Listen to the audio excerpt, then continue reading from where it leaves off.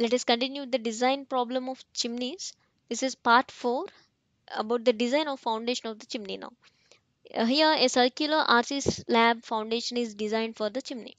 So the formula is this, the uh, relation W by A is equal to M by Z. So W by A represents the total vertical load on the base that is plus self weight of the footing. Self weight of the footing is assumed as 10% of the total weight. As a, so this is actually the raft slab. For the raft slab it is a norm to assume uh, the total uh, the self weight of the raft slab is assumed to be the 10% of the total weight imposed on it. So we are taking it as 10% of the weight. So total vertical load is nothing but the dead load of the chimney 9520 initially we have found out and 10% of the 9520 that is 10470 we got it M is a bending moment at the base that is 15,000 kilonewton per uh, kilonewton meter initially we have found it also.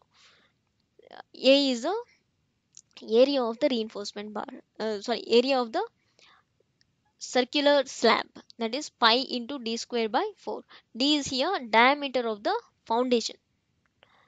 So Z is a polar mo modulus that is pi d cube by 32. So after getting all the values substitute uh, here substitute in this expression. So we get only unknown value is here d. So this expression is in order to find out the dimension of the uh, slab. That is diameter of the slab. That is 11.4 meter. We got it as. See here. Observe this. So the soil pressure is like this. And here this is the weight of the chimney. This is one wall of the chimney. This is another wall of the chimney. There's a circle. In, each, in between it is hollow right? So but we are assuming it as the w is acting at the center. The total weight is acting at the center. Even it is acting in this way. The resultant is being acted at the center. So this is a capital uh, small d1 inner diameter at the bottom. That is 4.6 meter. And this is the whole diameter uh, we got. That is the diameter of the slab now the bending moment diagram for this is in this way in this way. So at the center this is found to be mr mr this is the radial moment of inertia. So it has a radial moment effect. So we call it as radial bending moment. That is m suffix r. This is mr max. We get it uh, at the wall at the joint where the wall uh, uh, chimney wall touches the slab where there we will get the maximum bending moment see here. And also I am considering it as uh, capital D as 2A and this as 2B I am uh, taking it as two dimensions 2A I'm assuming it has uh, the diameter of the foundation as D that is 2A 11.4 and 2B that is the in inner diameter of the chimney. I'm taking it as 2B for calculation purpose you will understand why. Uh, see here. Intensity of the soil pressure W is equal to W capital W by A. So capital W we got it as 10470 this kilonewton by A is a pi by 4 into now we have the diameter that is 11.4 square. After doing this we get the intensity of soil pressure as 103.103 kilonewton per meter square. Initially, the soil bearing capacity they have given us uh, 150 kilonewton per meter square. So it is within the safe permissible limits. That's good. So now we have to see 2A is as I said 2A is D that is 11.4 meter.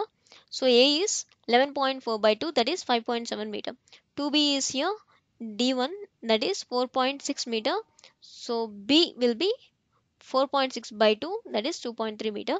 So after that maximum bending moment we have to find out. This is the formula. See here. Maximum bending moment in the section is governed by the radial moment as i said.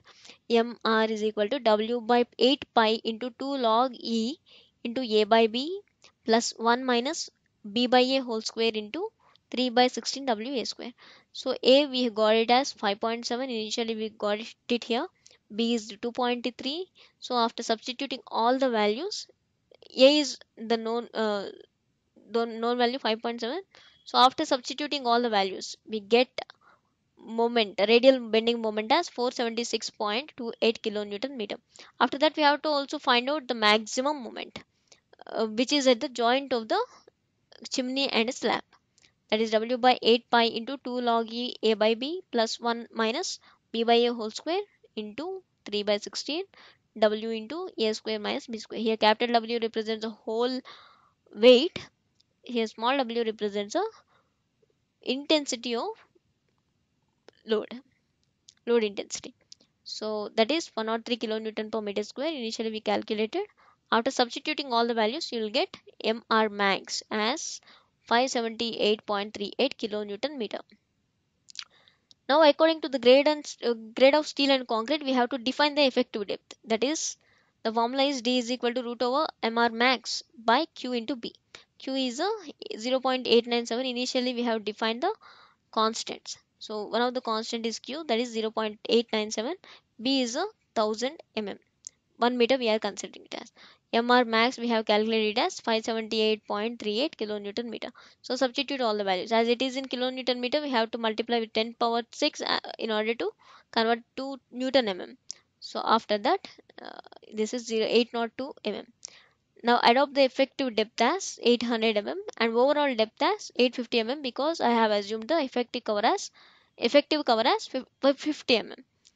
Now area of the reinforcement. AST is m by sigma st into jd. J is also a constant. We have we have found out sigma st is 230 newton per mm square. In the problem I have given you. M is a uh, the maximum moment we have calculated. D is the effective depth 800 mm. So after substituting all the values, we got the AST as 3492 mm square.